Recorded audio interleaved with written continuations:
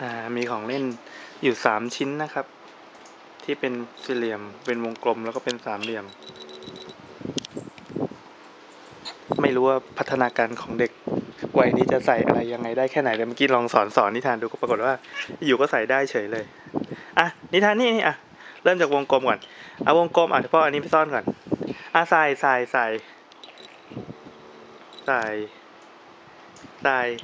ใส่ได้ยังใส่ได้แล้ว เก่งมาก เอ้ปะปะปะอะวงกลมง่ายไป วงกลมง่ายไป ขอพ่อขอพ่อขอ เอานี้ดีกว่า อะ ขอขอ ขอ ขอ นี่ใส่ได้อีกแล้ว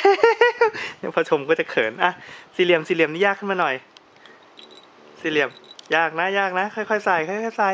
ใส่ใส่หันด้านที่เป็นตูดตูดๆเข้าหากัน ใส่ได้แล้ว เก่งมาก เก่งมาก ปะแปะ แปะแปะ อ๋อแปะแปะนี่คือตบมือ แปะแปะแปะอะอันนี้อันนี้สามเหลี่ยมนี่ยากสุด ไม่รู้จะได้หรือเปล่าอันนี้ยังไม่เคยลองกันอะสามเหลี่ยมนี่ท่าน นี่นี่นี่ใส่อันนี้ใส่ใส่ใส่อันนี้อะอันนี้พ่อซ่อนก่อน อันนี้พ่อซ่อนก่อน อันเนี้ยยากสุดเลยสามเหลี่ยมเนี่ยเอาเลยใส่ใส่ไม่ใส่แล้วเหรอนี่ไงนี่ท่าน โชว์ดิอะใส่ใส่โอ้ยไม่ใส่แล้วห่วงเล่นแล้วสิ นี่ไงมันยากสุดเลยนะ ถ้าทำได้นี่ พอแล้วนี่มันฝากล้องไม่ต้องใส่